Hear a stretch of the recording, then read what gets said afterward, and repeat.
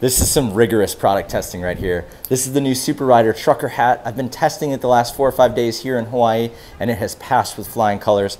By the time you see this, it'll be live on superrider.tv if you want to go get one for yourself.